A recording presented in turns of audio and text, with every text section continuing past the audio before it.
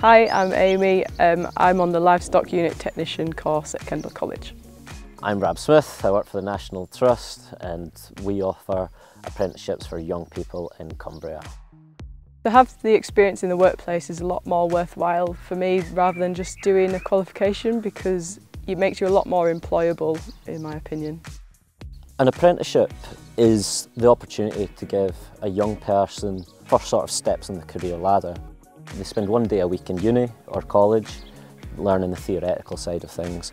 The rest of their time is spent doing the practical on the ground job my job basically, I'm with the National Trust, so I look after their herd of rare Albion cattle. Got the biggest herd in the world.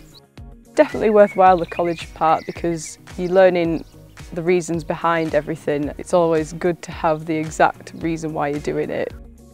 It should be able to give them the skills, the experience, the knowledge that they require to get on in the industry It should also, you know, give them the inspiration and the motivation and the confidence to go for jobs in the future.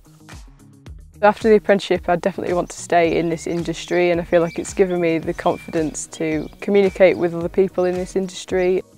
I would absolutely recommend um, other employers offering apprenticeships. You end up with a very rounded, very capable member of the team who knows exactly what you want, exactly what your organisation is trying to achieve and how they can play their part in delivering it.